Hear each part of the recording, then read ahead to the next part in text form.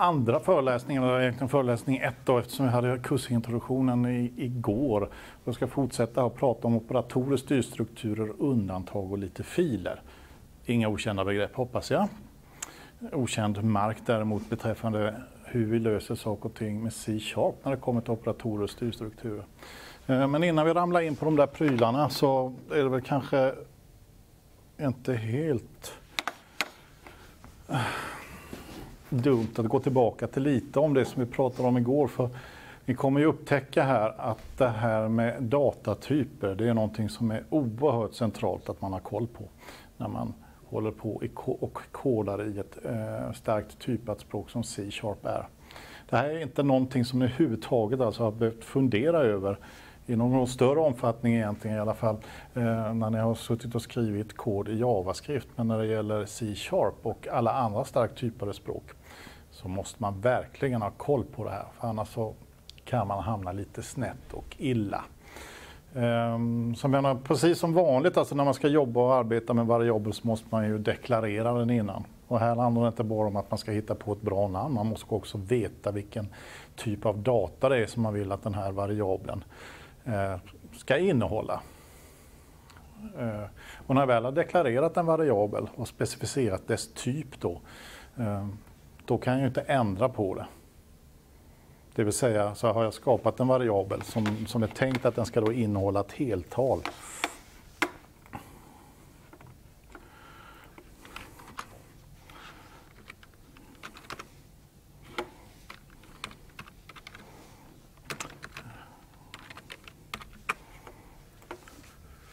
det ser jag till så att vi gör här. int det är datatypen int, kan innehålla tal eller värden mellan minus, till, minus 2 miljarder till plus 2 miljarder.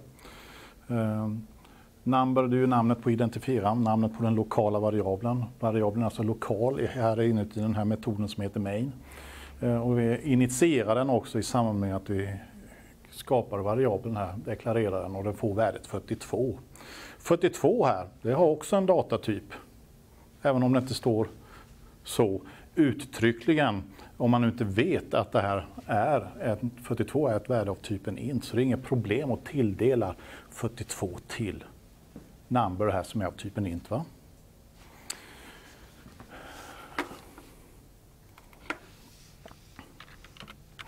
Decimalpunkt är det ju när vi tar och jobbar i eh, C-sharp också, precis som det är JavaScript när vi ska skriva flyttal. I det här fallet så är nu då 3.14 ett flyttal. Alltså ett tal som innehåller decimaler. Nu är inte det här längre, en dat är inte det här längre datatypen int. Utan 3.14 här nu är av typen double. Som är standardtypen så fort som vi skriver ett tal som innehåller en decimalpunkt.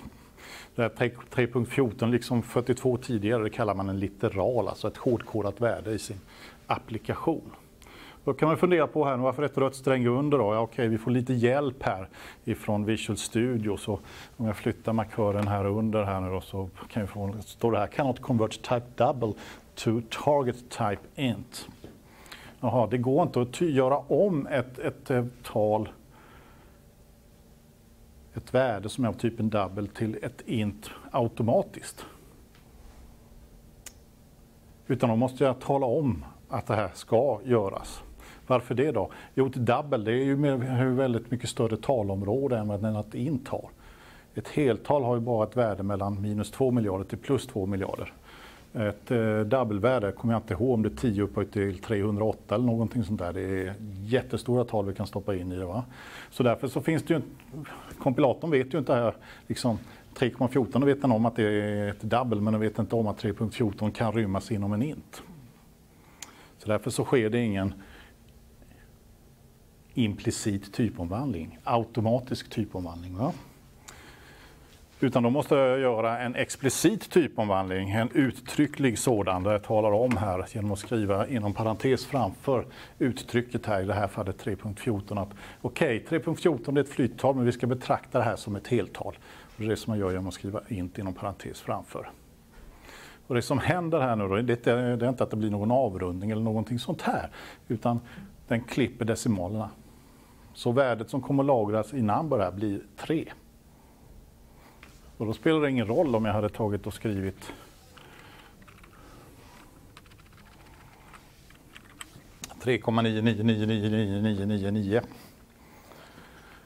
Det blir 3 i alla fall, utan den trunkerar det här och bara klipper bort det. Det här är ett, ett exempel på att vi måste ha koll på det här med datatyper.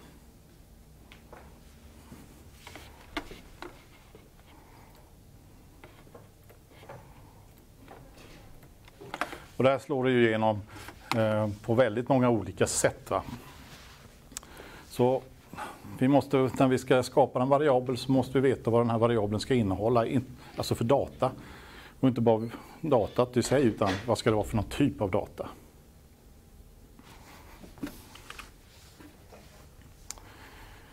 Jag pratade lite här om, om typomvandling. Då brukar man prata om implicit och explicit typomvandling implicit automatiskt och explicit uttrycklig.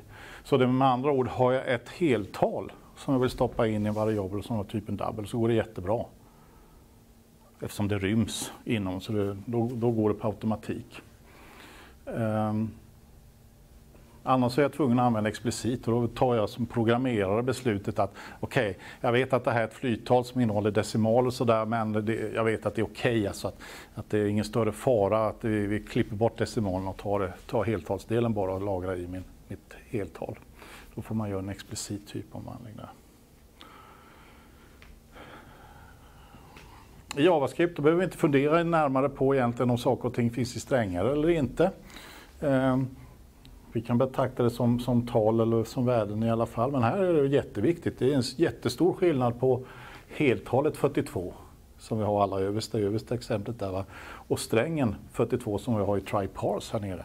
Det är två helt olika saker. Det ena är ett heltal, det andra är en sträng som innehåller eh, tecknen 4 och 2.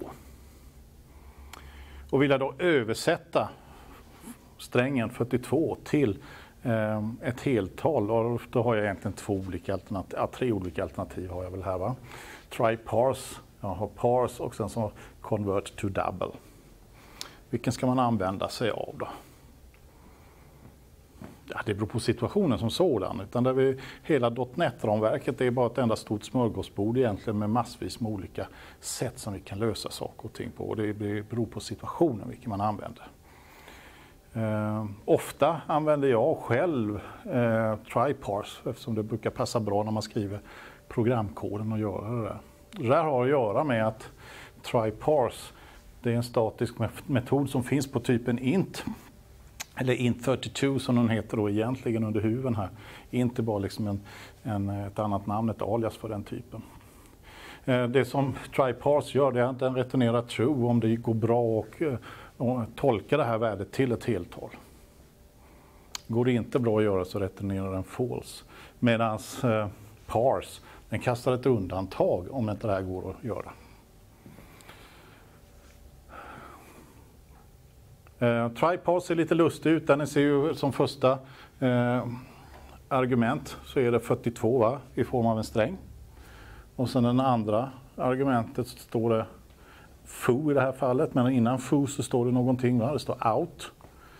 Eh, talar man om egentligen här då att trots att eh, vi har en variabel som är av värdetyp int, va? kommer ni ihåg det från JavaScript att man faktiskt gör skillnad på referenser och värden? Ja, här gör man det definitivt och måste hålla koll på det där. Så hur som helst, int foo här, foo är en variabel Eh, och vi vill, vill att triparse ska fylla i FOs värde så därför måste jag skriva out framför det. Så är det.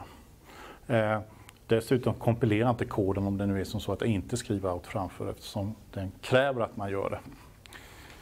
Eh, men där har ni lite olika sätt som har att hantera med typomvandling att göra. Vi har automatisk för uttryckelsen sen så kan vi tolka värden. Då. Och det handlar om att tolka värden, strängar till heltal, flyttal eller vad det nu är för någonting som vi vill tolka det till.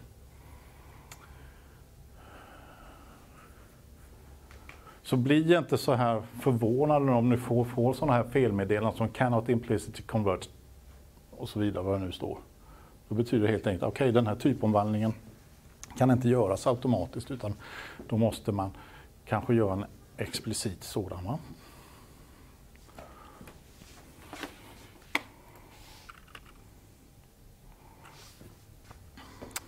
Arrayer är väl inte så mycket att orda om egentligen. Eh,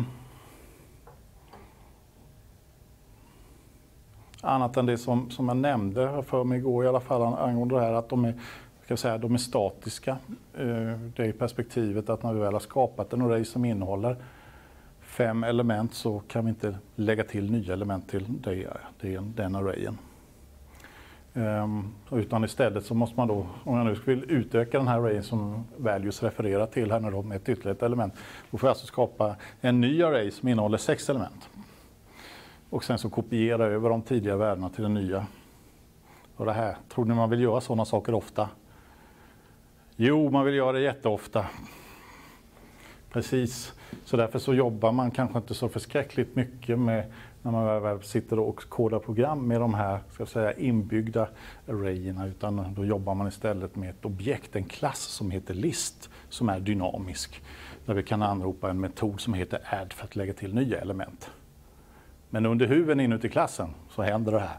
Den skapar en ny array, kopierar över den gamla arrayens värde och sen så är det bara att tuta och köra. Någon annan sak som kan vara lite mysko här det är alltså att använda en for each-loop och for each-loopar är jätteokej att använda när vi håller på i C-shop. Vi använder inte bara en for each-loop för att loopa igenom eh, egenskaper eller vad det nu kan vara till exempel. Men, eh, de värdena som vi får ut är read-only men oftast är det bara att man vill läsa det igenom och iterera igenom en samling med värdena på något sätt. Eh, en annan liten lattjo del då, alltså det, man kan ju filtrera eller göra saker och ting med, med våra samlingar, med vår array genom att använda sig av link då och eh, med metodbaserade frågor. Så här kan man då skriva .where till exempel. Och sen kan jag formulera en fråga i det här fallet, x, som symboliserar då varje element som jag plockar ut ur samlingen va? och dess värde. Eh, så eh, filtrera ut eh, alla värden ur values där elementets värde är jämnt. Alltså det vill säga det är jämnt delbart, eller udda är det, förlåt mig, eh, där det inte är jämnt delbart med två. Modulusoperatorn man kan ju använda på det sättet.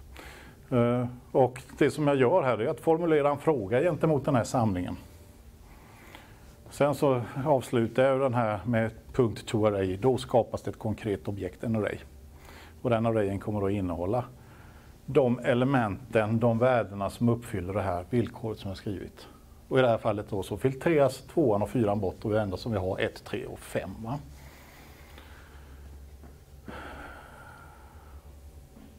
Och det, det coola med det här egentligen det är att den här syntaxen här, den, den kör vi mot en array. Va? Vi kan köra det mot XML-data. Vi kan köra det mot eh, data som finns i en databas. Vi kan köra det mot eh, JSON vad som helst.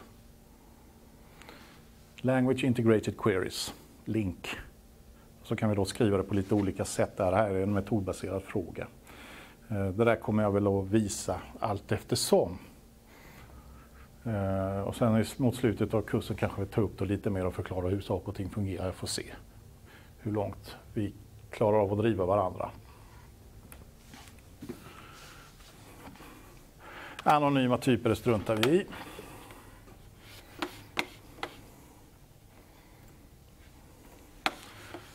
Men alla de där grejerna med att hålla, hålla koll lite på datatyper och sådana här prylar, det är, det är viktigt när vi kommer till operatorer. Det är viktigt när vi kommer till styrstrukturer. Uh, och i viss utsträckning så är det viktigt när vi kommer till filer också, för vi ska ju läsa filer och tolka datat som finns i filerna. Uh, så det som vi kommer att ägna dagen här, här fortsättningsvis, det är just operatorerna. Kort om dem, kanske lite mer om modulusoperatorn, kanske lite mer om divisionsoperatorn också. För det är som sagt gäller att hålla koll på vad det är för operander och operandernas typ. För det blir lite olika resultat nämligen. Styrstrukturerna, har ni koll på dem? Från JavaScript? Ja, det har ni if-satser, while, do while, for, for each. Switch-satsen skiljer sig lite åt, så den kan vara värt att kommentera lite saker och ting va? runt omkring. Uh, fall through-historien är lite annorlunda gentemot hur den är i, i JavaScript nämligen. Eh, undantag då, fel, felhantering. Eh, try catch vet ni vad det är för någonting va? från JavaScripten. Eh, Johan, kommer du ihåg ifall finally finns i, i JavaScript? Ja, Okej, okay. Eh, ja, det, finns, det finns här också såklart. Vi ska titta lite på filer och de är, enkel filhantering som ska jag ska förhoppningsvis hinna med att avsluta med något exempel som läser in en eh, data från en JSON-fil. Eh, filer finns det ingenting om i kurslitteraturen utan får vi hänvisa till ja, dagens föreläsning. Då. Och, eh, så finns väl någon liten artikel skriven också men den är bara liksom läsa rad för rad, inte liksom läsa in och tolka JSON-data utan det, det, måste jag demonstrera här. Um.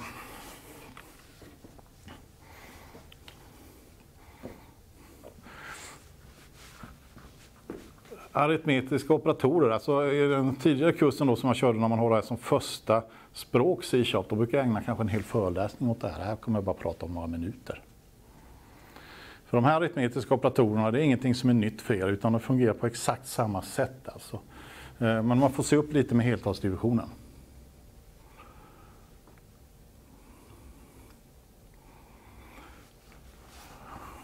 Vad menar jag med det där med SUP med heltalsdivisionen då?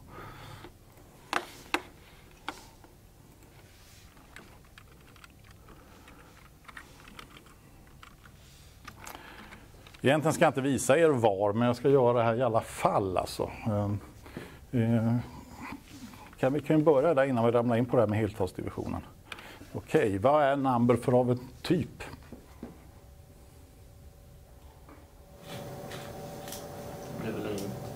Det blir väl en int, svaret på den frågan eh, uppenbarligen och det är sant.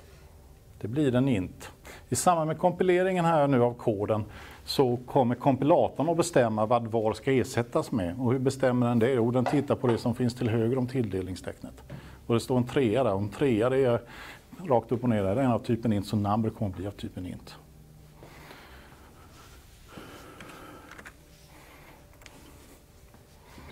Nu kommer number inte längre vara av typen int, nu kommer number vara av typen double. För nu är ju 3.14 här, det är ju ett double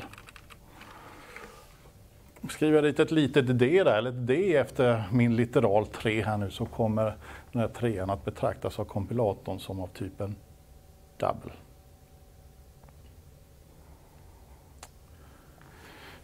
Alltså det är ju det är jobbigt att skriva 3.0 va? Mm. Så skriver vi 3D istället. Om jag skriver dit ett M där då, så betyder det att det ska vara decimal. Och decimal brukar man ju använda sig av när man behöver flyttalsdelar exakt. Och när är det vi behöver vi göra sådana saker? Jo, det är när vi håller på med pengar, ränta på ränta på ränta på ränta va, till exempel. Då får man inte slarva bort några decimaler där för då blir bankerna pissed off. Utan då kör vi med decimal som är förskräcklig massa bitar i primärminnet som ska gå åt för att lagra den här informationen. Och hur får man ihop decimal med M då? Money brukar jag tänka pengar. Ja. Eh. Okej, okay. eh, då skriver vi så här då. Vad kommer number att bli av för typ nu? Vilket värde kommer att lagras i number?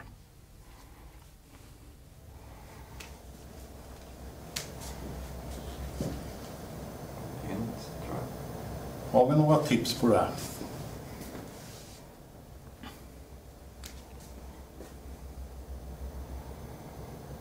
Ett är ett heltal va? Tre är ett heltal. Ett dividerat med tre är lika med?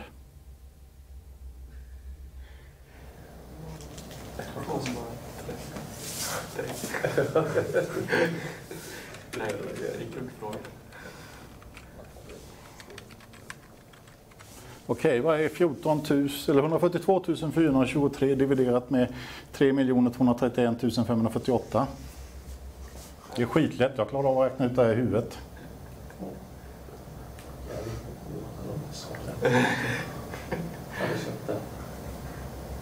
Nej, jag behöver inte göra någon miniräknare till.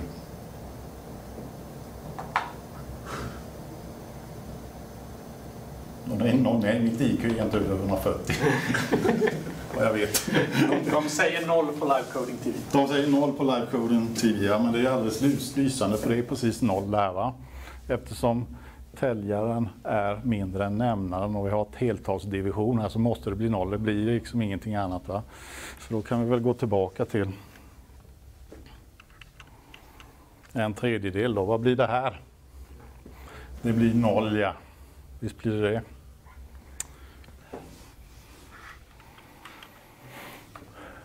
Så det gäller att ha koll på det här med hel, heltal och flyttal. Va?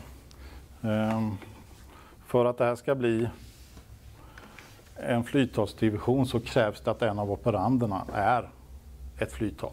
Och nu är den det. Så nu blir det 0,3 och number kommer bli av typen double.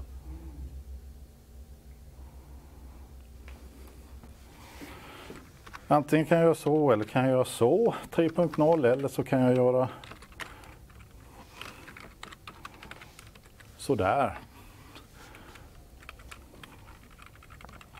Då blir det en flyttalsdivision, nu är det en heltalsdivision.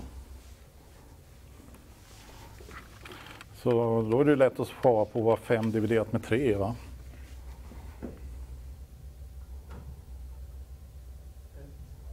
Ett får vi få slag på här och visst, det är ett. Och resten då? Alltså vi har ju, vi har ju fem hårda kolabitar va? Det ska delas upp på tre stycken. Vi kan inte dela de här som blir över av de här. Vi har delat ut tre av dem utan då är det två kvar. Hur, hur kan vi få reda på de där då?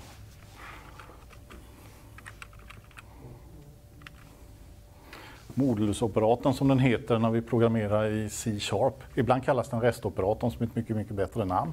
Jag får mig den heter restoperator i JavaScript va? Eller? Eller var det modus? Ja, jag tror det är hur den hanterar negativa tal. Jaha, ja. Ehm, ah, ja, modulusoperatorn heter den här i alla fall hur som helst. Det här ger resten. Två i det här fallet va?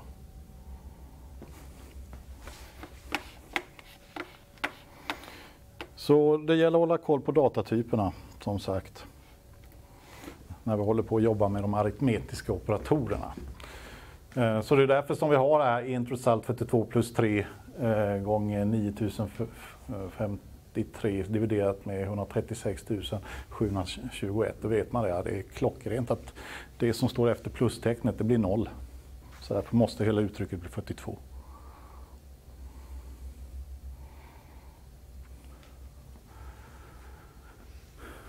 Nu står det 9 dividerat med 9D där. Okej, då vet vi det. Ha, det måste bli ett tal som kommer vara decimaler här nu då. Så 42 Fahrenheit är väl ungefär 5,6 grader då, Celsius.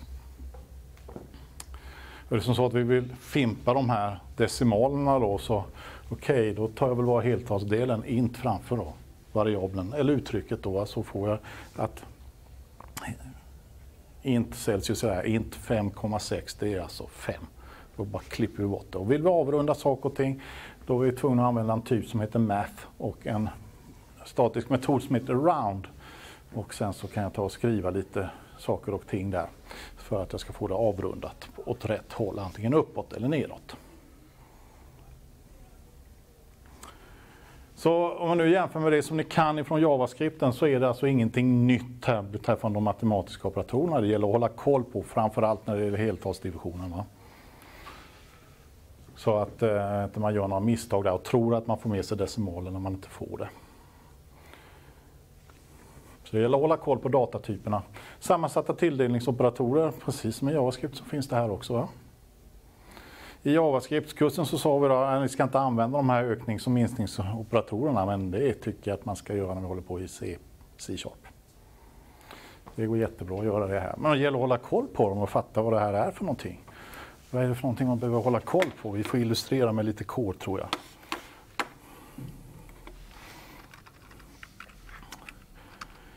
Vi tar heltalet 5 här nu då, va? vi har det som grund.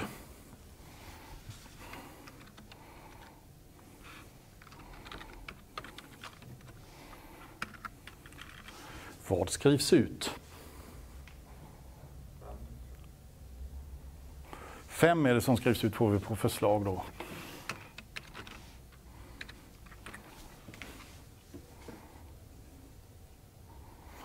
5 kommer ut ja. Alldeles rätt och riktigt.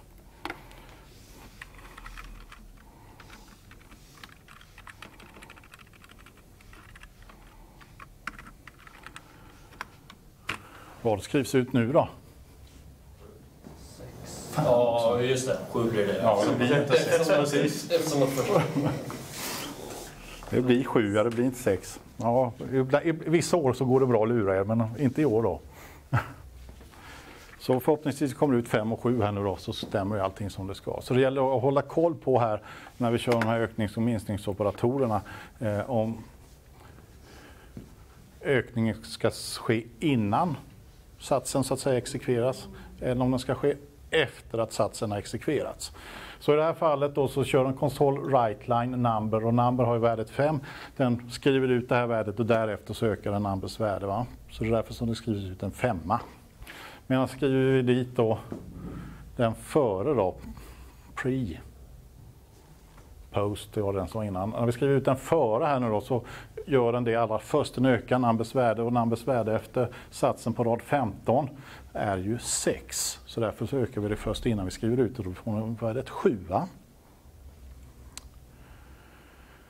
Ur effektivitetssynpunkt där eh, så spelar det ingen roll om man skriver plus plus före eller efter.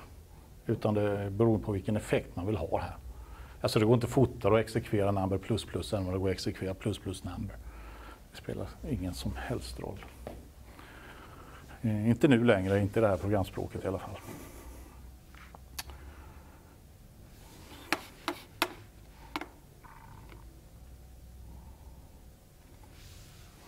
Uh, ska vi se, det var en fråga där som jag har missat beträffande heltalsdivisionen. Frågan gällde 1 dividerat med 3. Kan man sätta inom 1 dividerat med 3 för att få en eh, double? Nej. Parenteserna, de är ju som, som precis med JavaScript så har de ju hög, högst prioritet. Va? Så eh, i det här fallet så kommer den ju räkna 1 dividerat med 3 och det är en heltalsdivision så det kommer bli 0 här. Så om jag, även om jag skriver 8 gånger 1 dividerat med 3 här så kommer det resultatet som kommer lagras i number här kommer vara 0. Den tar inte 8 gånger 1 och sen dividerar med 3 eftersom vi har en parentes runt omkring. Utan den tar 8 gånger ja, 1 delat med 3 först då så att säga. Va? Och det blir ju 0 och 8 gånger 0 det blir ju 0 ja, just det ja. Så det hjälper inte med parenteser. Ehm. Utan det enda som hjälper i det här fallet är att se till så att någon av operanderna är av flyttalstyp för att det ska bli en flyttalsdivision. Ja. Kan man kasta double före parentesen? Kan man kasta double före parentesen? Eh, ja, det kan man ju göra. Och det är precis samma sak som att skriva 8 gånger 0,0. Vi har fortfarande gjort så att den här parentesen blir ju noll, va? Sen så kastar vi det till, från heltalet 0 till flyttalet 0, 0,0.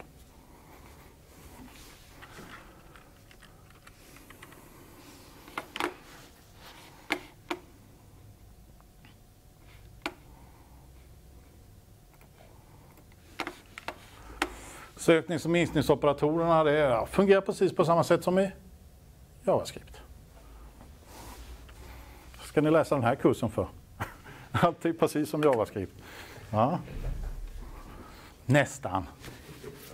Nej, det här är också precis som i JavaScript. Boska uttryck eh, ger alltid true eller false. Kan aldrig ha någonting annat värde. Vi har våra jämförelseoperatorer, mindre än större än, eh, mindre eller lika med större eller lika med, lika med och skilt ifrån. Men här ska vi inte stamma på likhetstecknet. Vi kan inte använda tre likhetstecken. Vi kan inte använda utropstecken lika med lika med. Vi har inte det behovet här.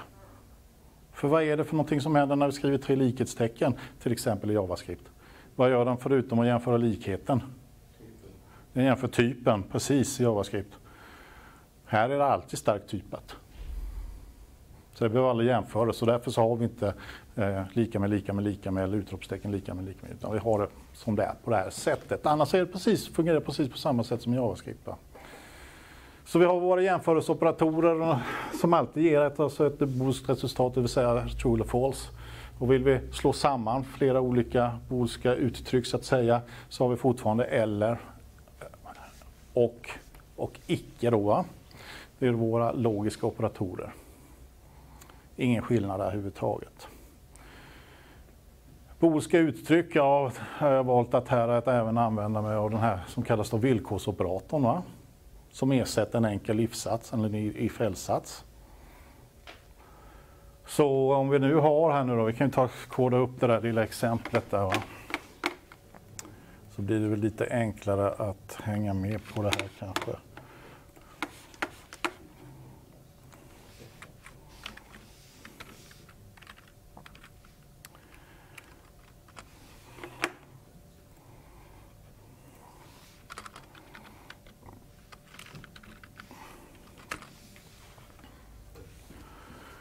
Okej, vi läser in ett heltal ifrån eh, tangentbordet.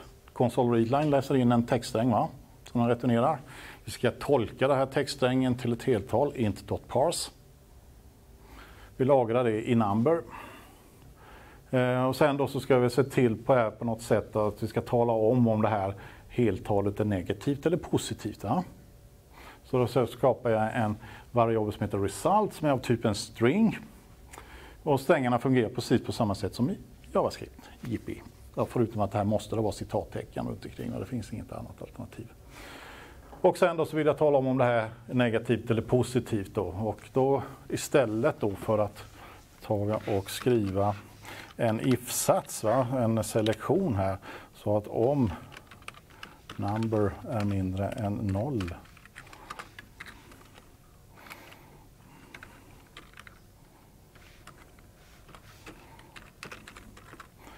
sammansatt tilldelningsoperator. Eh, om det är mindre än noll så är det negativt. Va?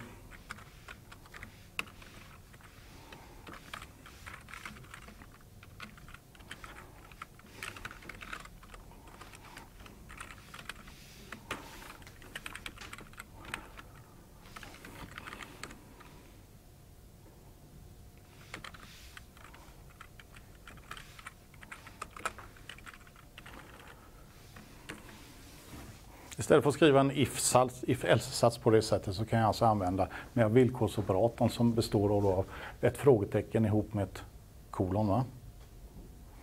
Ehm, och är det uttrycket, som, uttrycket sant som står direkt till vänster om ut, eh, frågetecknet så görs det som följer direkt efter frågetecknet.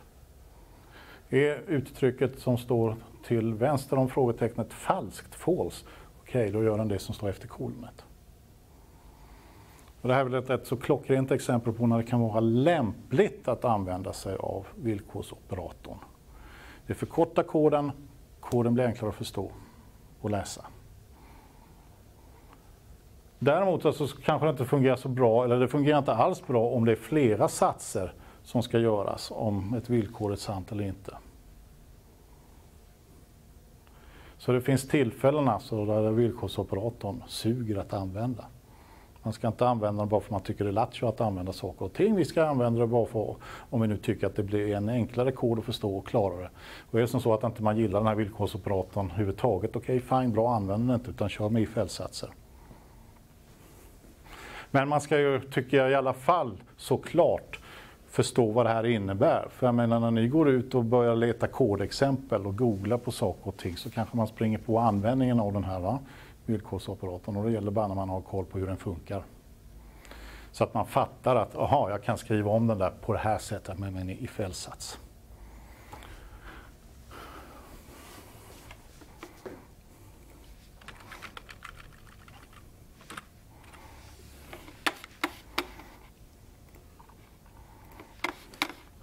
Sen i C-sharp eh, kommer jag inte ihåg vilken det kom egentligen, men vi kan ha två stycken frågetecken också efter varandra. Ja. Vad hade hänt om du hade skrivit in ett, eh, alltså ett, eh, ett double i, på readline där det stod int.parse? Vad hade hänt om jag hade skrivit ett double vid console readline? Ja, precis. Alltså matat in ett flyttal här. Ja. Ja, då hade det hänt som så att den hade inte klarat av att tolka det som ett heltal. Då hade det kastats ett undantag. Vi kommer se på exempel på det sen när vi kommer till felhanteringen. Eh, men, men då exekverar inte koden utan då avbryts exekveringen eftersom den vet inte hur ska jag fortsätta här då.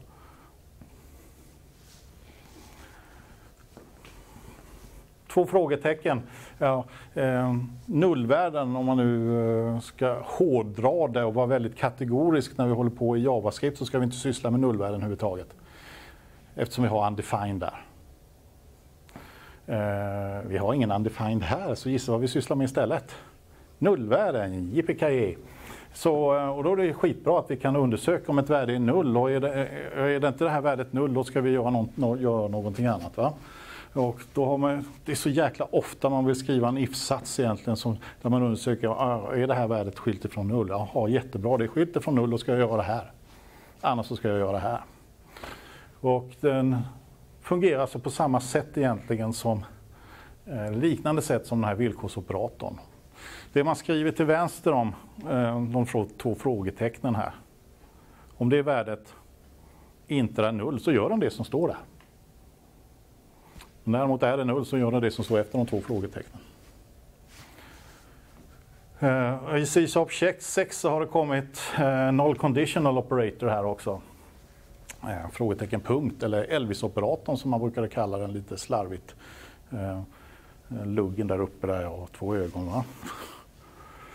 Ehm, eh, det, det den gör då är att den undersöker liksom om jag nu skriver eh, har en variabel och den variabeln ska referera till ett objekt. Och refererar den inte till ett objekt så har ju variabelns värde null. Va? Eh, Och är det null, okej då kan jag inte göra punkt length om det är en array eller vad det nu kan vara för någonting.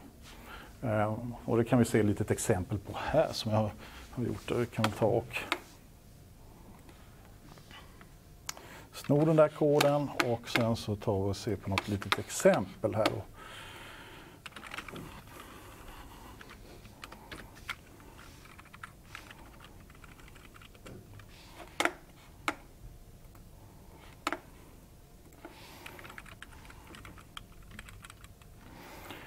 Yeah fem.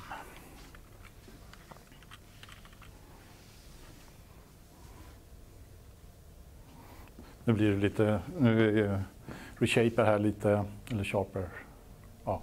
Eh, den är lite för smart så den ger väldigt mycket hjälp åt vilken kod det är som kommer exekveras här. Eh, den där strängen okänt där kommer inte att komma ut nu eftersom secret number är ju 5. Så det hemliga talet är secret number to string, 5 to string. Va?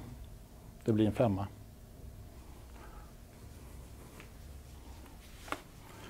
Sätter jag den där jäklan till null.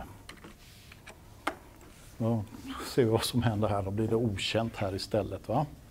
Som kommer att skrivas ut. Så vi får, behöver inte exekvera koden alltså när man kör den konfigurationen som jag har. Ja. Vad är det frågetecknet efter int? Vad är det där frågetecknet efter int? Ja. Det här är ju en värdetyp int va? Så den kan ju bara innehålla tal. Den kan inte innehålla värdet null. Men nu vill jag visa den här Elvis-operatorn eller nullable operator eller vad sjutton var den hette. Ehm, så därför så la jag dit ett frågetecken efter int här. Och då blir det här helt plötsligt av typen nullable int. Varför har man behov av att ha heltal som kan förutom att innehålla värden 0, 1, 2, 3 och minus 348 538 och dessutom värdet 0 då? Nu har inte ni läst så mycket databaser, typ ingenting alls va? Men i databaser så kan jag alltså tala om, framförallt när vi pratar om en relationsdatabas så som ni kommer läsa om i eh, läsperiod 1 år 2.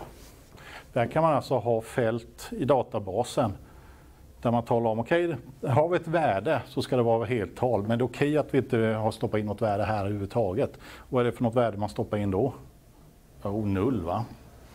Då ska jag skriva ett C-sharp-program som kopplar mig mot en databas som kan innehålla antingen värdena 3, 4, 8 eller vad det nu är för någonting, eller 0. Då duger inte datatypen int längre, va? för den kan ju inte innehålla värdet 0. Då har man hittat på den här nullable int istället. Och det här är inte frågetecken, det är bara ett kortare sätt att skriva nullable int på. Och vad nullable är för någonting och det här med mindre och större än tecken, det skiter vi i. Men det, Det är en struct i alla fall som talar om här att vi, vi kan lagra int här. Men int frågetecken är ett kortare sätt att uttrycka samma sak. Det betyder helt enkelt, den här kan innehålla heltal och dessutom väldigt null. Och det är det som vi utnyttjar här nu då.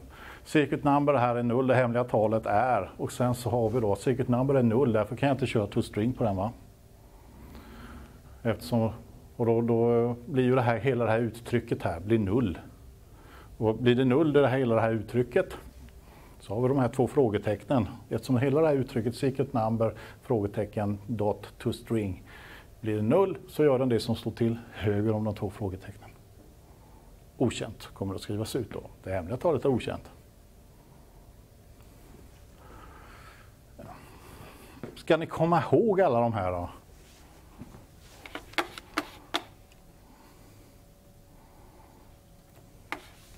Jag vill bara visa dem att det finns så att ni inte när ni läser, läser kod från exempel eller så här tror att det är tryckfel. Typ eller någonting sånt där. Va? Utan att det verkligen, ja det finns alltså operatorer som ser ut på det här viset och det är ett levande språk det här. Eh, så den här operatorn då, Null Conditional Operator, den alltså kommer från den senaste versionen. Vi får väl se vad som kommer nästa version av C-sharp. Om det är några ytterligare korta sätt att skriva saker och ting på så att vi skriver, slipper, slipper skriva if-else-satser. Det är det det handlar om här. Eh, de här avslutande operatorerna eh, i så stor utsträckning. Så tanken med de här är ju att det ska förenkla läsandet av koden. Eh, nackdelen för oss, er, det är att ni har ytterligare fler saker att lära er och förstå egentligen. Va? Ehm, man behöver inte använda sig av någon av de här tre avslutande operatorerna. Det går jättebra att ersätta med ifärdsatser. Men bli inte förvånad om ni som sagt springer på eh, exempel som eh, innehåller de här operatorerna.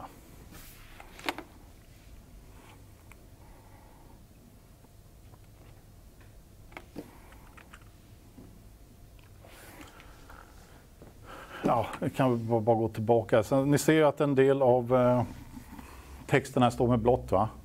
Det är ju länkar att klicka på och de är direkt rakt in i eh, dokumentationen som finns på MSDN. Ehm, så här kan man ju läsa om på det här. Yes, den var jättehjälpsam. Ehm, skip this. Tack, tack, tack. Man blir aldrig av med de där heller. Eh, beskriver lite vad det här är för någonting. Ofta så finns det ett kodexempel i anslutning. Det är med andra ord ungefär som det har sett ut på MDN va? beträffande JavaScript. Läs dokumentationen. Det är lätt att komma hit också. Eh, inte frågetecken, vad är det där för någonting då? Eller inte, vad är det för någonting? Okej, okay. markören där, tryck på F1 så trillar man rakt in i MSDN. Oftast på rätt ställe också dessutom. Va? Ehm, så då kan man också läsa, läsa, lite mer om det där. Vad det nu är för någonting. Ja.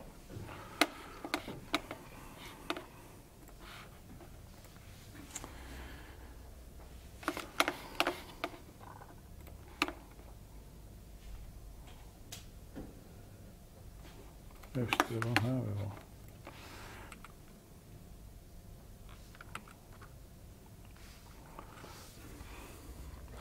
Styrstrukturer. Det här ska vi fortsätta prata om efter pausen för nu är det dags att köra en kvarts paus. Men då kommer vi att trilla in på det här lite olika konstruktioner beträffande selektioner och iterationer. Och det kommer vi komma fram till. Det är ingen skillnad gentemot JavaScript förutom kanske switch-satsen. Men det tar vi då. Då tar vi en paus på en kvart. Ja, innan pausen så pratade vi lite om boolska uttryck och när vi kommer till styrstrukturer här då, i selektioner och iterationer så gäller det verkligen att ha koll på det här med boolska uttryck. Eftersom villkorsuttrycket som vi använder oss av i båda fallen när det gäller selektioner och iterationer ihop med if-satser och while-satsen och vad det nu är för någonting måste vara ett boolskt uttryck som utvärderas då till true eller false. Så det går inte liksom att bara skriva dit en variabel och variabeln har värdet noll, så betraktas det hela uttrycket som false då. Så är det inte i C-sharp. Utan här måste vi verkligen konstruera alltså ett boolskt uttryck eh, i villkorsuttrycken. Då. Så selektioner, där har vi precis som när det gäller eh, JavaScript så har vi if-satsen och vi har switch-satsen att leka med. Va? Eh, och eh, som sagt, om vi tittar på if-satserna i det här fallet då så undersöker vi ifall det inmatade värdet på tangentbordet för det kan tolkas som ett heltal och om heltalet är udda. Och är det det så kommer saker och ting att skrivas ut. Va? Så det, det går inte liksom att, att, bara skriva number modulus 2 liksom, och den blir noll så är det, så är det false så att säga. Annars är det troligt. Jag måste göra en jämförelse här med 1. För att det verkligen ska bli ett boost uttryck. Och det blir det ju i och med att lika med lika med är ju en eh, jämförelseoperator som returnerar antingen true eller false. Va? Switch-satsen fungerar på väldigt annorlunda, eller väldigt annorlunda sätt. Den fungerar på ett annorlunda sätt i C-sharp kontra hur det är i många andra programspråk där JavaScript är ett av de andra. Eh, och det det handlar om där är skillnad. Då. Nu går vi in och tittar dokumentationen. Eh,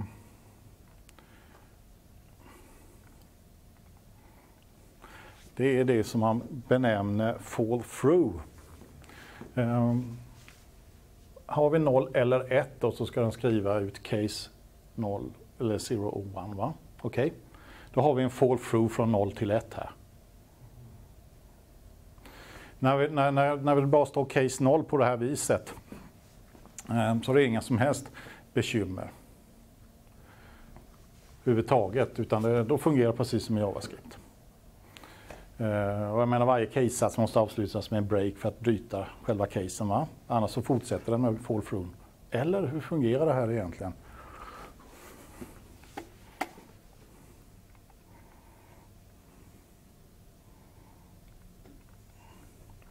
Ah, kommer jag ihåg fel?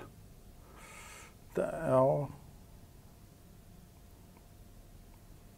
Ah, det var inget bra exempel. Jag skulle ha läst på det här lite bättre känner jag. Eh, Go-to, det är det nackskott på om man skriver i sina programspråk. För då, då betyder det att man är en spagettiprogrammerare. Då kan man hålla på i basic då, där go-to-satsen kommer ifrån. Eh, och då är man inte välkommen att läsa den här kursen. Men håller vi på inuti en, en switch-sats så finns det alltså tillfällen då vi måste använda oss av go-to. Och här är det okej okay att göra det. Eh, det här är inget eh, lysande exempel på det här e-, egentligen. Utan, eh, go to case one det innebär helt enkelt att då, när den har gjort den här case 2 or medium då går den upp till ettan och kör small. Där, va? Så då går den till den labeln som man har spesat här med go to case. Så go to case är okej okay att skriva. Och det finns omständigheter som när vi har med fall through att göra där jag är tvungen att skriva go to case för att jag ska kunna hoppa till en viss label i en switch-sats. Så här kommer det att fungera på lite annorlunda sätt. Jo, nu har jag inte förberett något exempel överhuvudtaget här i huvudet ens för det här. Vad ska vi hitta på? Ehm.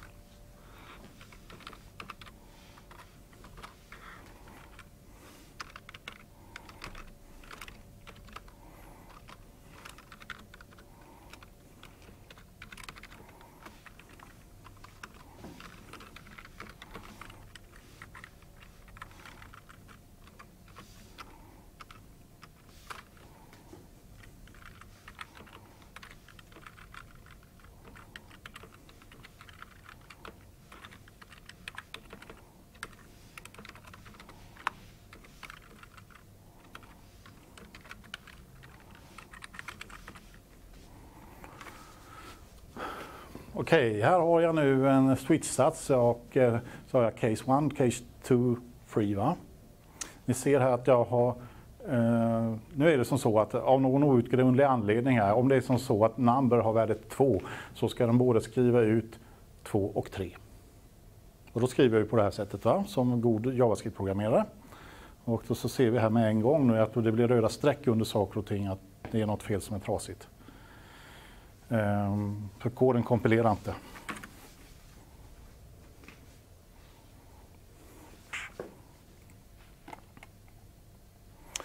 Uh, control cannot fall through, fall through va? Mm. Uh, from one case label to another. Så den kan inte falla igenom från case 2 till 3, det är det som felmeddelandet står här. Va? Eller från case 2. Um, och det här av säkerhetsskäl. Alltså det här språket C-sharp som är eh, ett modernt språk eh, är ju konstruerat för att man som programmerare eh, inte ska göra massa onödiga misstag. Och det här är ett exempel på ett onödigt misstag för det, det kanske inte är den här funktionen som man vill ha. Jag har glömt att skriva en break här. Skulle jag skrivit det här i C++ eller C så skulle koden ha kompilerat och den skulle ha kommit ut med 2 och 3. Va? Men nu är C-sharp alltså konstruerat alltså med åtanke på att eh, som programmerare så ska kompilatorn hjälpa till så mycket som möjligt så att vi inte gör massa logiska fel som är svåra att hitta. Så därför så är det här ett kompilatorfel. Då. Eh, som, som upptäcks då av komp eller inte kompilatorfel, men ett fel som upptäcks av kompilatorn. Och här måste jag uttryckligen då tala om att okej, okay, det händer någonting på case 2. Det, skriv, det, det, det, det är några, några satser eller en eller flera satser som exekveras där. Är du verkligen riktigt säker på att du ska exekvera satserna som finns under case 3 också? Uh, och ja, det är jag då. Och i så fall så... Uh, jag bara ryser. Uh, go to uh, case 3.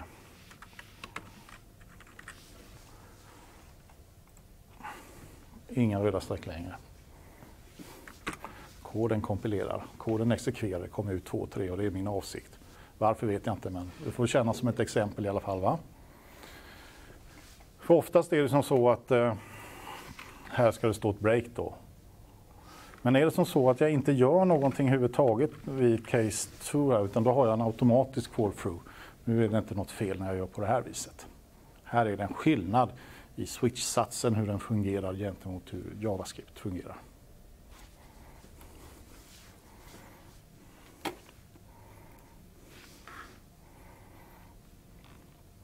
Eh, jag fick en fråga här som jag glömde besvara. Här. Vad var runt omkring det som vi diskuterade innan? Angående nullable. Är det bara int man kan göra nullable? Nej, det är alla värdetyper.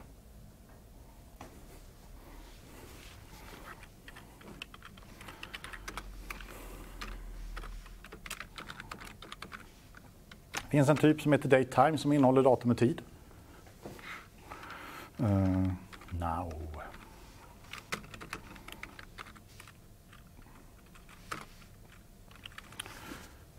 Det kan vara som så att det är en databas så kanske det är som så att du har ett datum men eh, jag tillåter att det är, är värdet null därför jag vet inte releasedatumet på CDn eller vad sjutton det är för någonting vi lagrar för information runt omkring.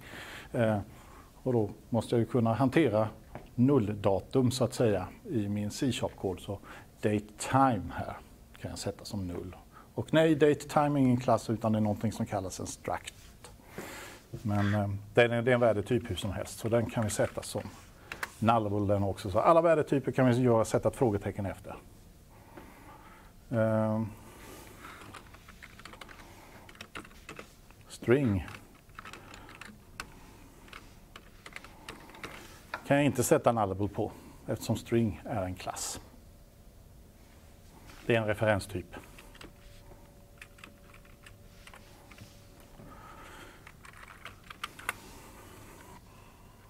Ja, det var fel det. Nej, det var rätt.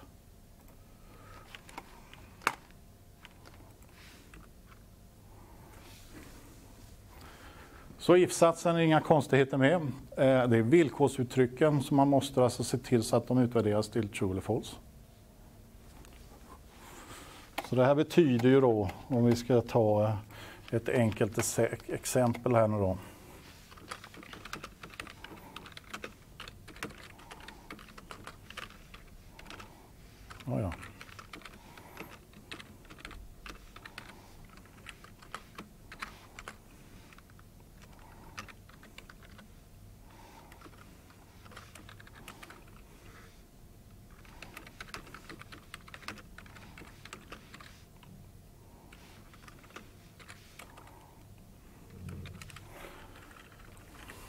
Så här kan man alltså inte skriva.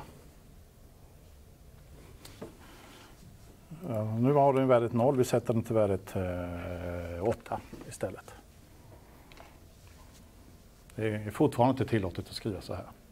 Eftersom 8 är inte true eller false. 0 är inte true eller false. Det är, liksom, det är bara 0 eller 8. Va?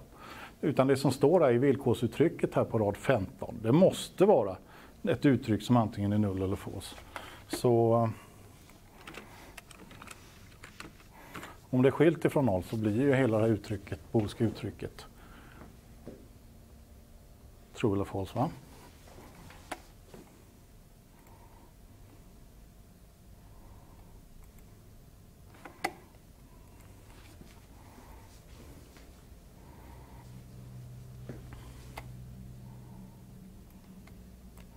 Gud, massa dyngar det dyker upp här.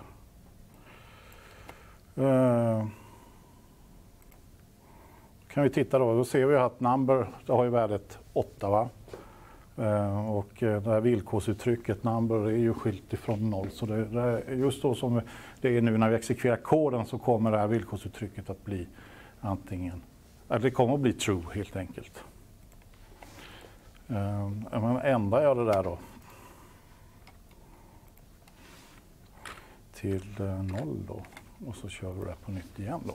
Så kan vi se att nu minsann så är det inte true längre utan nu sätter jag ju att number skulle vara 0 och 0 är ju inte skilt ifrån 0 så därför blir det false. Va?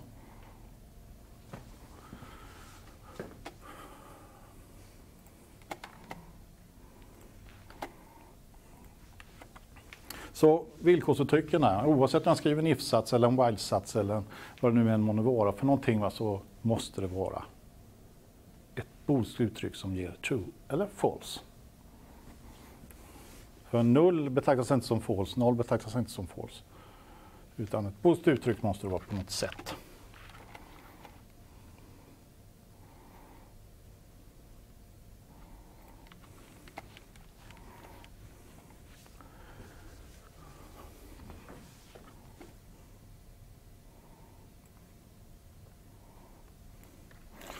Tittar på iterationer så är det inga nyheter beträffande hur while-satsen fungerar.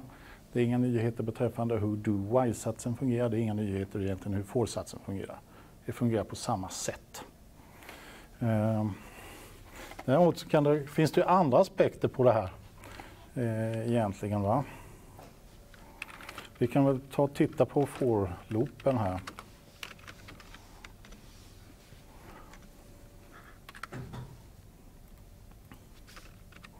Jag gör bara något enkelt, jag bara skriver ut värdet i värdet. Jag, jag skriver ut 1, 2, 3, 4, 0, 1, 2, 3, 4, 5, 6, 7, 8, 9 va? Nu ser du att det står i++, det står inte i plus lika med 1 som jag skrev till exempel i JavaScript-kursen tidigare utan nu använder jag mig av de här uppräknings och nedräkningsoperatorerna, eller ja, operatorerna då. Eh, ökning och minskningsoperatorerna. Um.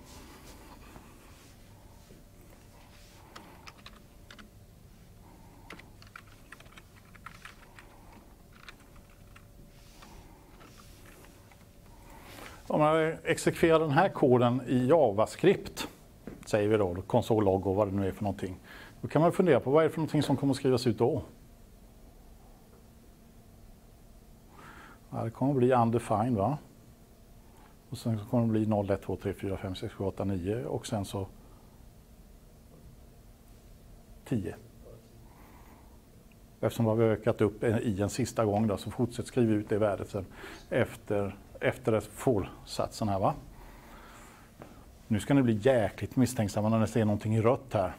Så det fungerar inte på samma sätt längre, så som det gör i, JavaScript. Och det här har att göra med lite hur såklart man deklarerar eh, i här, i JavaScript. Så som, eh, nu tänker man i JavaScript och då, då hade det stått var i där. Va? Mm. Eh, Men här har vi i, i JavaScript så har vi function scope när vi skriver var och så variabelnamnet. Skriver vi lätt JavaScript så har vi block scope. Va? Och i C-sharp så har vi block scope. Så det är därför som i är rött på rad 13 och i är rött på rad 18. Dess räckvidd är bara inom blocket som den är deklarerad i, det vill säga inuti for-loopen här. Så det är bara i, finns, ja, i finns bara tillgängligt här i for-loopen, inuti for-loopens kropp. Inte innan definitivt och definitivt inte efter. För det är utanför blocket. Och blocket i det här fallet är alltså klammerparenteserna. Det här är en stor skillnad hur det är när ni deklarerar variabler med var i JavaScript kontra hur ni gör det här. Sen kan ju jag såklart skriva var här också, alltså, men det spelar ingen roll. I kommer att vara ett heltal i alla fall som är deklarerat inuti blocket. Va? Annars så alltså, är det ju alltså ingen skillnad överhuvudtaget eh, beträffande hur forloopen fungerar. Eh, det blir ingen konflikt här mellan de här två ina. Det kommer vara två helt olika in eftersom de har, har två helt olika blockscopes. Ja. Ehm, det är ju intressant att titta också kanske på hur blocket är, är beskrivet, var, var eh, klammerparenteserna befinner sig. Är det, eh, det är ju alltid en diskussion. Ska inledande klammerparentes stå direkt efter satsen eller ska den stå på ny rad? Hur ser man på det i .NET-världen? Hur ser man på var man ska placera klammerparenteser i .NET-världen? Okej, okay, jag gör så som det står i kurslitteraturen. Jag gör som det står i dokumentationen på Microsoft, jag gör som det står i standarden som finns inskickad. Nämligen jag sätter de alltså klammerparenteserna inledande och avslutande ensamma på respektive rad. Men är det som så att man inte gillar det här sättet, va? utan att man vill verkligen att det ska se ut på det här viset, då har jag inga synpunkter på det, bara man är konsekvent. Då ska det banne man se ut så här.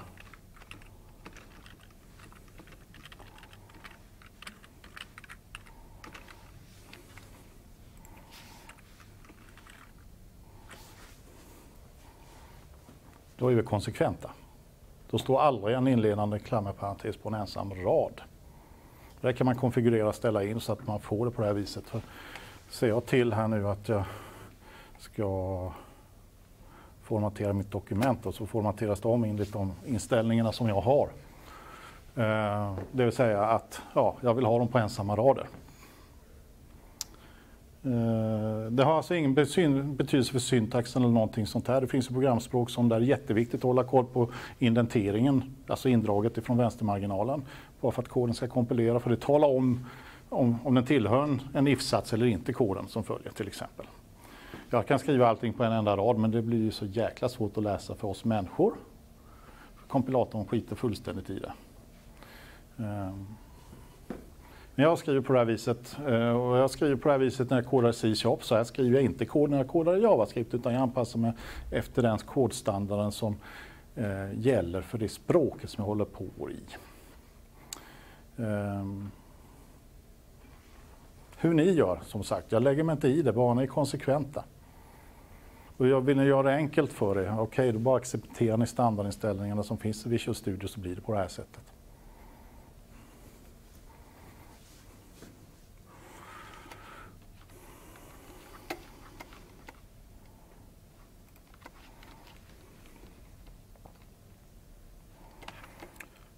Det där exemplet kan vi väl ta och titta lite på. Det påminner ju väldigt mycket om det som jag har diskuterat här. Men det kan ju vara värt i alla fall. Ehm, um, ja.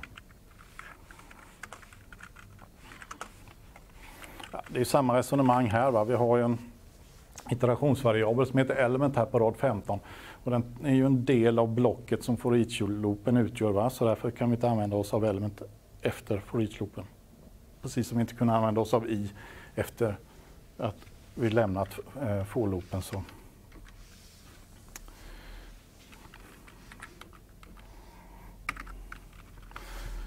Eh, när jag är inuti en for each-loop här då kan jag alltså inte påverka och förändra den här iterationsvariabelns värde. Så jag kan inte ha plus plus på den här. För den är read-only.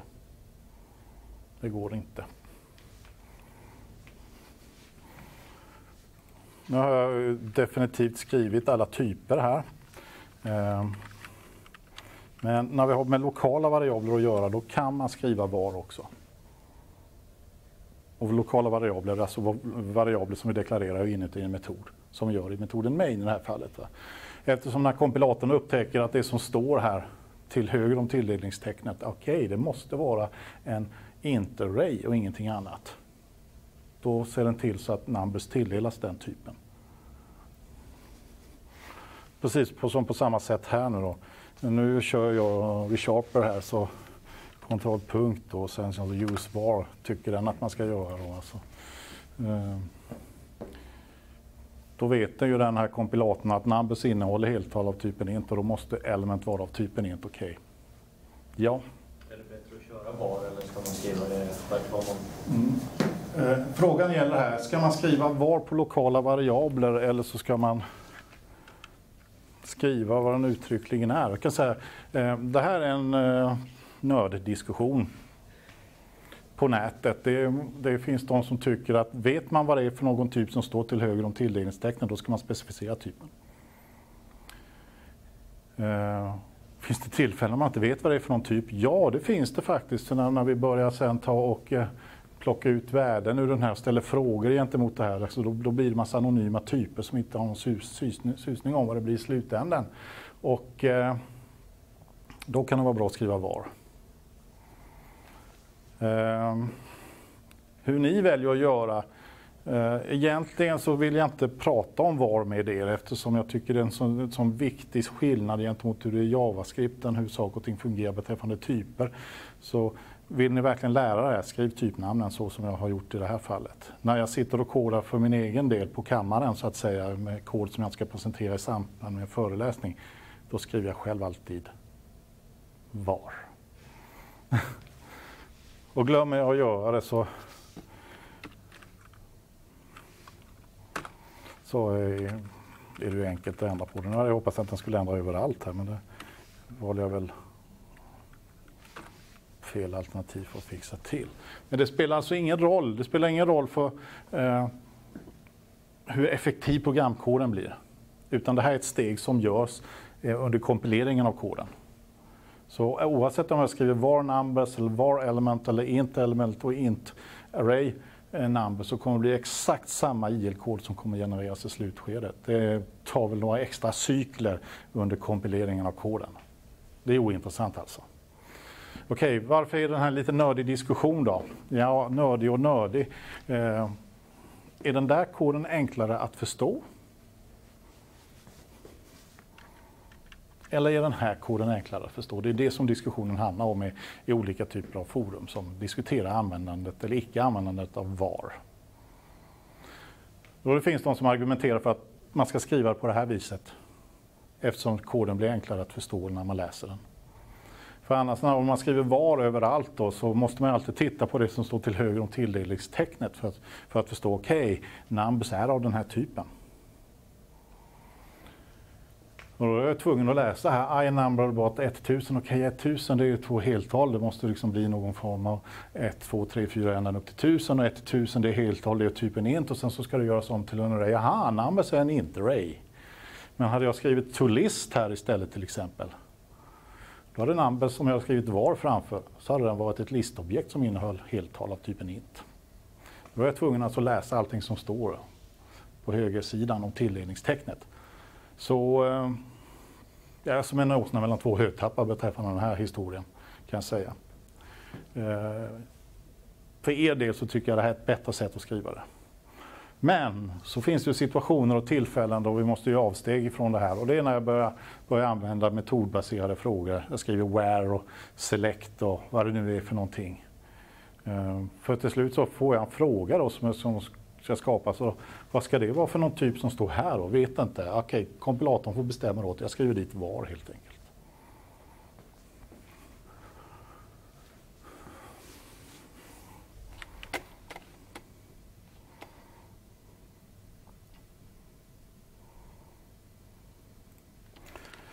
Så det här med styrstrukturer, ingenting nytt där egentligen. Det var någon liten detalj där med switchsatsen. Hur många gånger har ni använt switchsatser?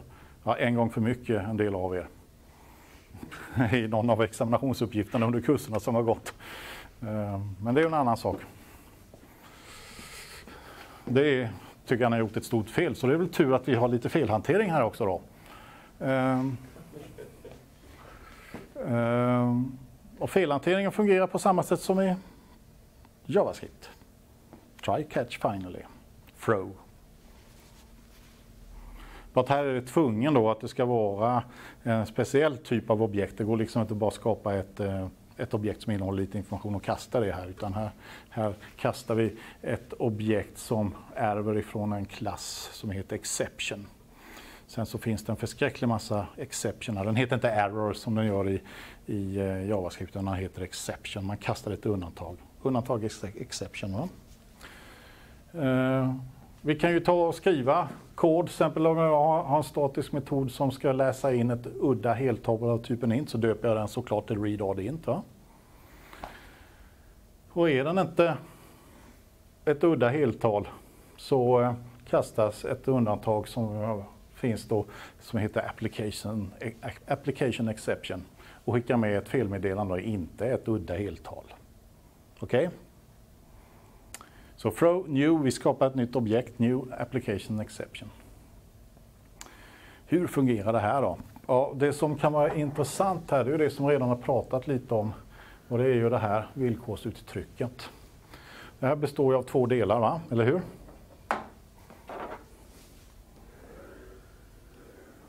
Vi har den första delen där. Och vi har den andra delen här. va? Eh, Jag ska mata in ett heltal som ska tolkas som ett heltal. Jag skriver dit hej. Det är ju inget heltal då va? Vad ska eh, number ha för något värde då? Ja, inget värde alls va? Och då är det ingen mening med att den fortsätter här heller va? Det är därför det finns någonting som heter Short Circuit Evaluation. Och det har ni i JavaScript också, även om ni inte visste om att det hette på det viset. Eftersom det står eller här nu då. Här har vi ju ett eller va. Så om det visar sig att det uttrycket som står till vänster om år här är true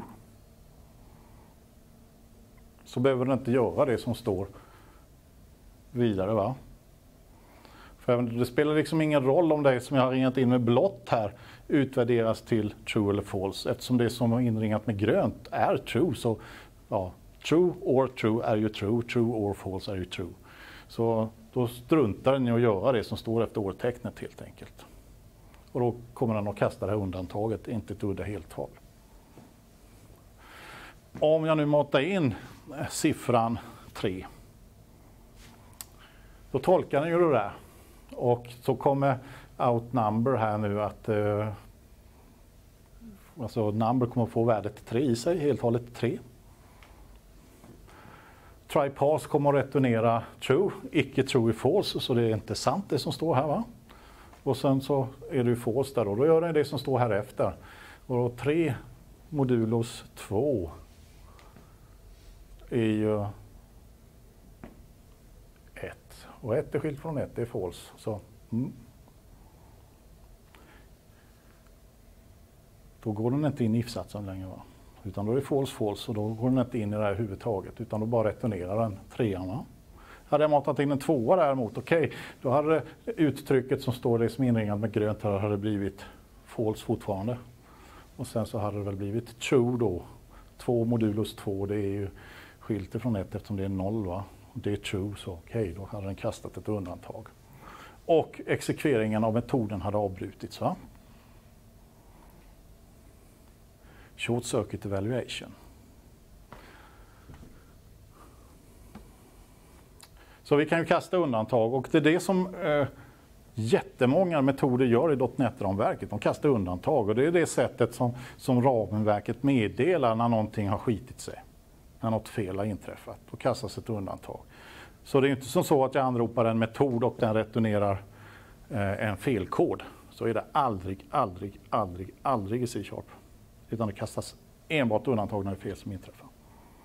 Tittar vi på andra programspråk som C och C++ och de, många av de funktionerna som finns där så förhåller det sig inte på det viset. Där kan det vara som så att metoder, funktioner returnerar felkoder om något saker och ting inte går så bra. Men här kastas det alltid undantag. Och undantagen då, då kan man ju fånga och hantera. Och då har vi ju try-catch-satsen också dessutom finally som alltid exekveras oavsett vad det är för någonting som händer, händer i try-blocket eller för, för all del i, i catch-blocket. Då. Så undantag kan vi ju fånga och vi kan ju hantera dem. Va?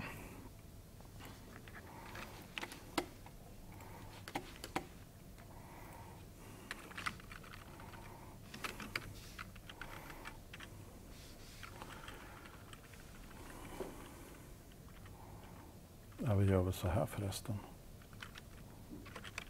Vi börjar med den här lilla grejen.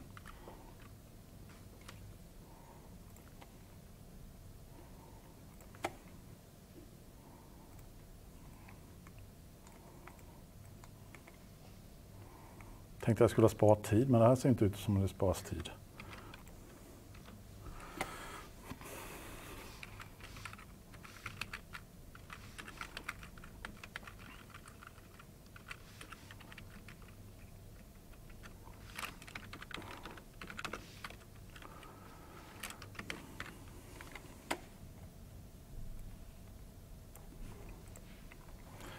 Okej Axel, du frågade ju här ju vad som händer om jag inte matar in någonting som skulle tolkas som, ja det var väl ett heltal som det var här va?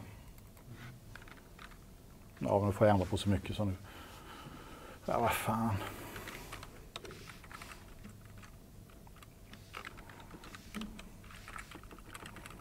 Det gäller ju att ha rätt på allting va. Så, ange ett heltal, kontroll F5. 5 till 4, vad råkar det bli? Du matar in 54. Det fungerar ju va?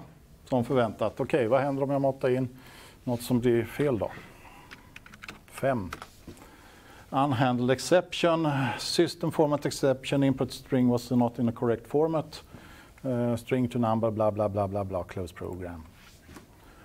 Så när jag inte fångar ett fel Eh, då kraschar den rakt ut till den som exekverar koden, CLR, Common Language Runtime.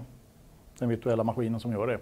Och den plockar upp det här felet och som presenterar det här felmeddelandet som, som, som då har kommit då ifrån den här parse-metoden. Va?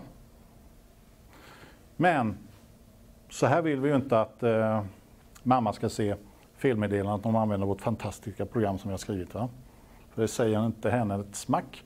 Eller för all del om pappa kör det också så är det inte kanske så roligt för honom heller om det inte är just eh, programmerare i .NET-världen för det säger det här allt. Att man får en sån här genuin Windows-känsla. man får en genuin Windows-känsla. Ja, hade det varit mörkblå eller blå bakgrund så hade det varit klockrent. nu är det inte det. Så vi ska ju fånga det här. Ja, vi ska fånga det här.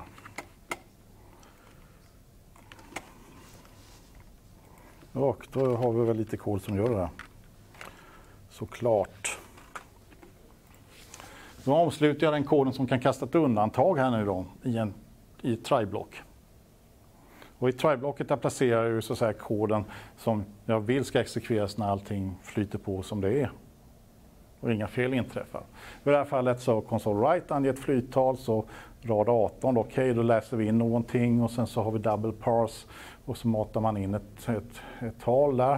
Eh, är det som så att någon av de här tre satserna på rad 18, 17, 18, 19 kastar ett undantag så fångar vi dem i catchblocket. Och den skriver ut felmeddelandet. Va? Och eftersom jag har ett final-block så kommer den alltid att exekveras. Oavsett vad det är för något som händer. Um, jag har ju bara matat ut värdena som på rad 19 rakt upp och ner. Va? Eh, string interpolation har för mig att det här nya sättet till C-sharp heter när man skriver ett dollartecken framför strängen som man har och sen inuti strängen så kan jag inom klammerparenteser skriva då formatspecificeraren, platshållaren formatspecificeraren. Som i det här fallet då number. Och dess värden som kommer ut. Eh, det är minst lika vanligt eftersom det där är en ny företeelse att man skriver på det här sättet.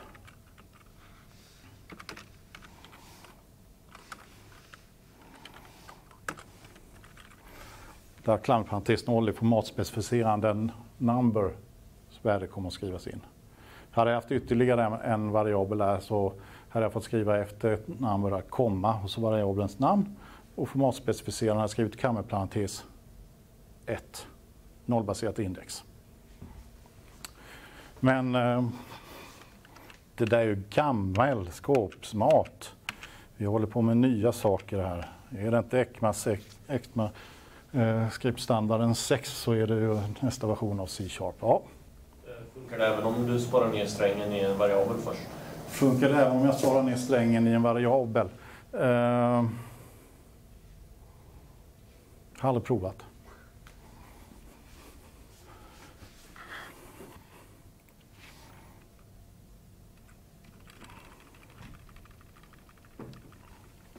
Men det, du tänker dig så här.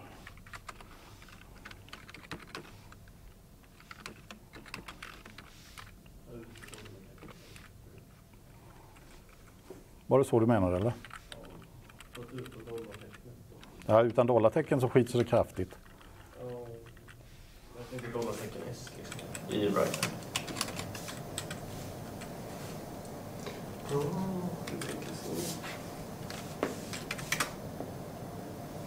Nej, det fungerar inte. Ja, fast testa det också. Alltså sätt Vadå? som... Alltså dollartecken S inne i Brighton och inte ha dollartecknet med i variabeln. Ah, vad fan. Och som du hade det fast dollartecknet eh, innan... Eh, Variabelnamnet. ja. Nej. Jag förstår inte hur ni menar. Sätt, Jag ska inte ha dollartecknet där. Nej, jo, där ska du ha det. Men du sätter en variabel till... eh, Du matade in number och sen så skriver du dollartecken, variabelnamnet. Variabel, alltså eh, dollartecken S innanför right line där. Och sen tar du bort, alltså flyttar du situationstecknen till en variabel. nej, nej, nej. Skitsamma, jag får testa sen. Nej, jag förstår inte och det skiter i att jag inte gör. Jag skäms, men skitsamma. Man kan inte skriva som du säger, för jag förstår inte. Det är så. Nej. Prova och visa så tar jag upp det på nästa föreläsning. Okej?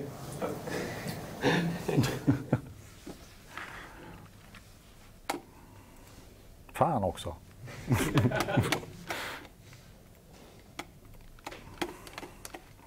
Eh, men det är inga nyheter. Ehm, det var ingenting som jag tyckte var lustigt där med final-blocket eller någonting sånt där. Det, händer, alltså det spelar ingen roll vad jag gör här.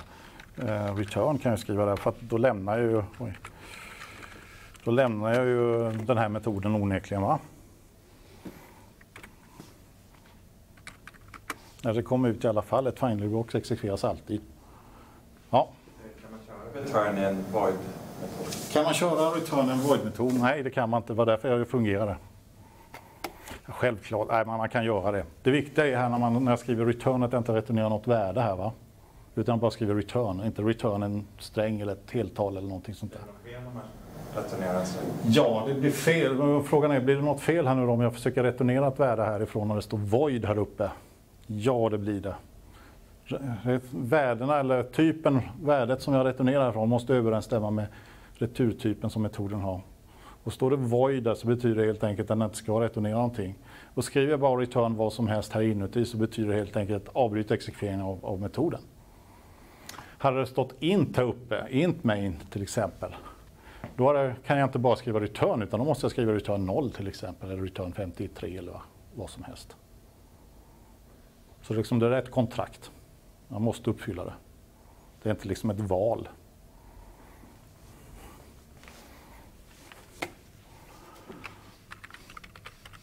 Så... Eh, jag får så mycket hjälp när jag har det här paketet installerat. Fan också. Mm. Så skriver jag till exempel här nu då return. Hej, så funkar det inte så bra va? Men eh, då måste jag i så fall byta den där typen där uppe om du vill verkligen eh, att den här metoden ska returnera en sträng så måste de överensstämma det som jag returnerar och returtypen som metoden har. Jag kommer att prata mer metoder i nästa vecka.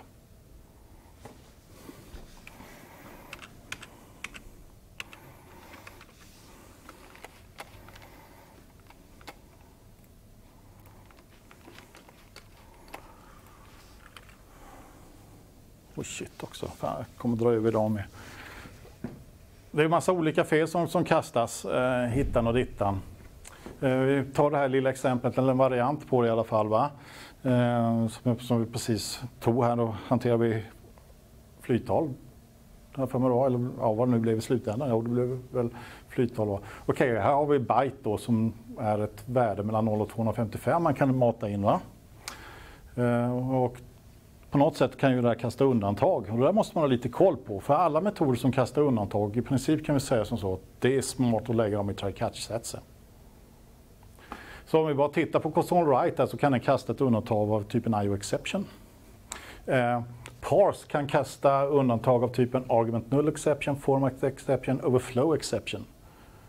Så om jag matar in ett värde här som är större än 255 eller ett värde som är mindre än 0 då klarar inte min variabel number av typen byte att hantera det. Och, eh, då kastar parse ett undantag eh, av typen overflow för då blir det overflow, vi går utanför talområdet som vår variabel klarar av att hantera. Då kastar den ett sådant undantag.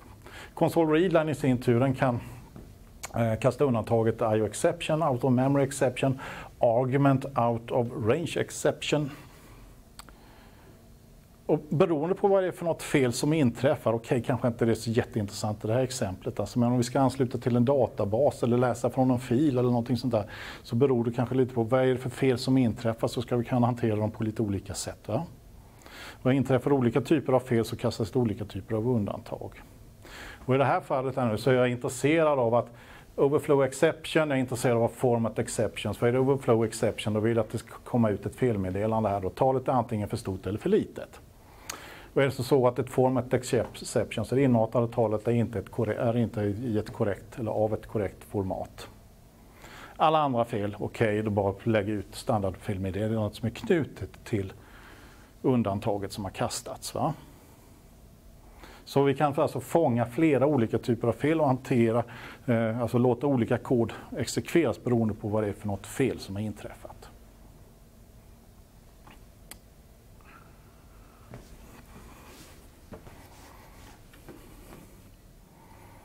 Är det vanligt att man gör så här då? Ah. Alltså, vad fasen, vi är webbprogrammerare. Är det något skit som skiter sig på servicesidan så är det en 500 mm. Eller? ja, Läsa filer, det kan man väl göra. Man kan ta och skriva till dem också. Och då måste man ha lite koll på vad det är för någonting som händer och sker här. Eh, framförallt så använder vi oss av två olika objekt här. I alla fall om man ska göra på det här viset som jag inledningsvis förklarar här. Då. Så med Streamwriter så, så kan vi ta och öppna en fil och vi kan ta och skriva ner saker och ting i den. Sen så får man, man får man inte glömma bort att stänga filen efter sig också. Va? Eh, och innan man stänger någonting måste man öppna den också. Mm -hmm. eh, nu är det ju som så att den här konstruktorn, då, Streamwriter-konstruktorn, det den gör det är att den öppnar filen åt oss. Så jag behöver inte skriva bababab.open. Utan den öppnar filen och sen så stängs den också på automatik här, tack vare att jag använder mig av using. För using, vet ni vad det gör för någonting? Nej, hur fasen ska ni kunna veta det om ni inte läser det som står allra längst ner här? Jaha, har jag fel eh, CSS här ser jag också, men det är ju ingenting ni behöver bry oss om. Eh, using nämligen, det expanderas i samband med kompileringen till ett try-finally-block. Det finns ingen catch-sats säger mig, men det finns ett finally-block.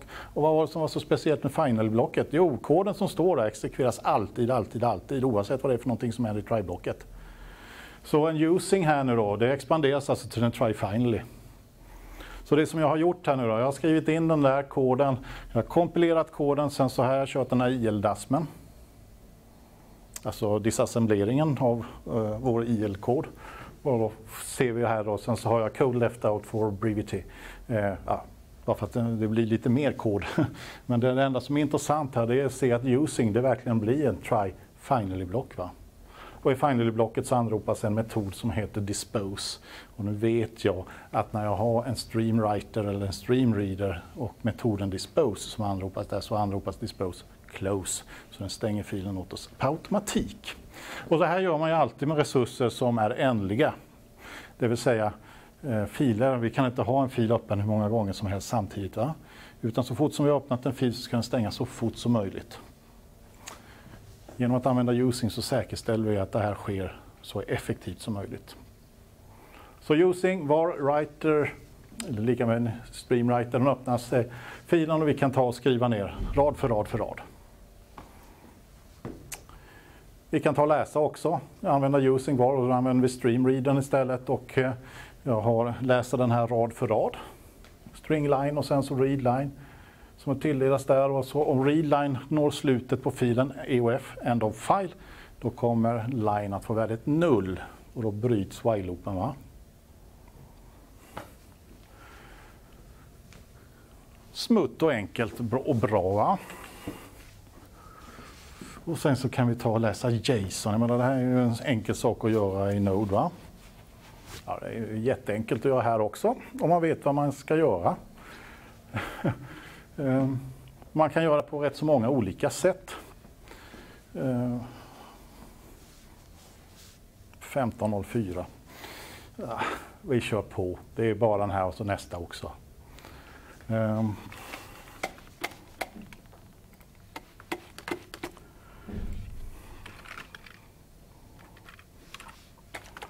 kommer jag inte ihåg om jag har lagt in den här filen här eller? Nej. Eh, får vi slå på så jag kan se alla filer här. Movie, JSON, den. Including project. Så. Där har vi vår lilla textfil med eh, JSON faktiskt. Det är en klammerparentes där och sen så är det ett gäng strängar. Ja. Nu ska jag läsa den här och tolka den här nu då. Finns det någonting i direkt rakt upp och ner i .NET-ramverket där man kan använda sig av sånt här på ett enkelt sätt? Nej. Inte som fungerar på alla Windows-versioner hur som helst i alla fall. Eh, däremot så finns det ett företag som heter Newton Soft som har gjort en eh, tredjepartsbibliotek alltså med saker och ting som har med JSON att göra. Och den där kan man ju använda sig av såklart. Och det tänker jag göra. Och när man tittar på det här, hanterar JSON ihop med C-sharp, då slutar man i princip i nio fall av tio kommer artikeln att ta upp eh, typer som Newton Soft har skrivit ihop. Det finns det är inte alltså en del av .NET-ramverket, det här är en tredjepartsleverantör. Jag måste installera ett paket. Och det är ju ingenting som ni inte är direkt obekanta med. va? Ehm, okej, okay, men det är inte samma pakethanterare som ni är vana vid. Ehm, utan det är en liten guldklimp här istället. Jag ska köra direkt ifrån konsolen. Det är Nugget i alla fall, eller Nuget, eller Nugget, ja, det beror på vilken sida man vaknar på, hur rolig man vill vara, för roligare än så har vi inte här. Ehm, och det som jag ska ta och göra här nu då, det är ju att installera det här paketet. Install package eh, newtonsoft.json. Så då installerar den det paketet och lite annan dynga och sen så sket det sig fullständigt.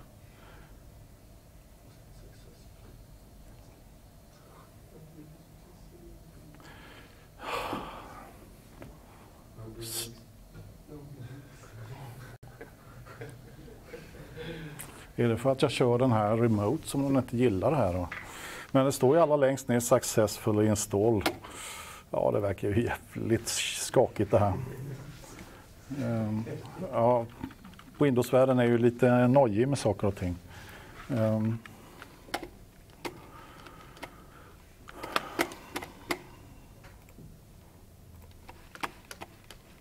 vi tar väl den här rakt upp och ner. Då slipper jag komma ihåg och göra bort mig ännu mer. Ja.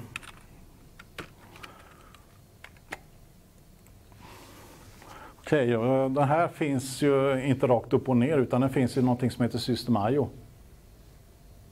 .streamreader och så vidare. Va?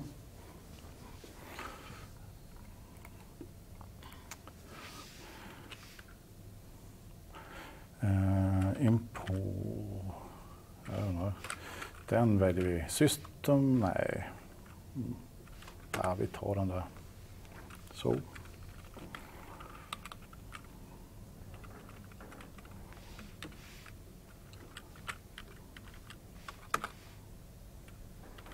Så. behöver man inte skriva hela den där historien så, utan man kan använda using-direktiv här uppe också. Så jag kan ju lika gärna skriva using system IO här. Eller IO. Då räcker det med att jag skriver så där nere istället. Behöver jag liksom inte skriva allting flera gånger. Eh, det gäller ju även här såklart.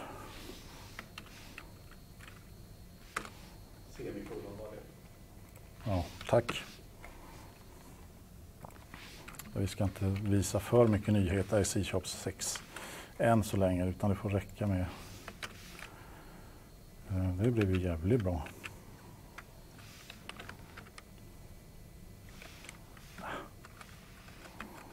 Soppar jag till det för mig. Upp, upp, upp, upp. Vad var det jag skrev där egentligen? Just det, JSON convert. Det man håller på att jobba lite med det är dels är det datatyper och sen så är det um, namnrymder också. Precis som det står namespace demo här så är Newton Soft en namespace respektive JSON är en namespace. Vi kan jämföra kanske ja, med moduler kan vi väl säga då. Så förstår ni ungefär vad det kan tänkas handla om.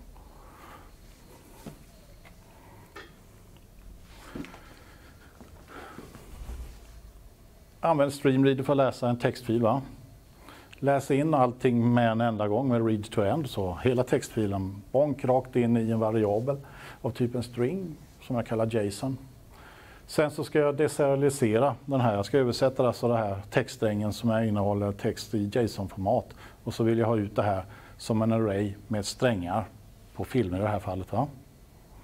Nu sa jag har ju tjatat en hel del under den här dagens föreläsning om att man måste hålla koll på typerna. Och det är väl framförallt det vi måste göra här också. Så när jag skriver den här koden så måste jag veta då att okej, okay, den här JSON-datat här, den ska översättas till en string array för att jag sen ska kunna hantera den här på det viset som jag vill i mitt program. Och det som jag vill göra här är att jag vill ta den här arrayen och sen så plocka ut varje element ur arrayen, varje sträng ur arrayen och sen så komma separera de värdena och sen presentera listan rakt upp och ner med filmer. Så här måste jag hålla koll på det här med att det är en string array som jag ska få ut. Jag måste skriva den också med, mellan mindre och större än tecken här och lite sådana grejer. Det framgår ju av dokumentationen. Man kan titta här på Newton eller Newton Soft hur man ska hantera sådana där saker. Det finns hur mycket som helst när man googlar på de här prylarna. Så ni kommer att hitta det när ni behöver det. Och ni behöver det för inför, eh, den första examinationsuppgiften.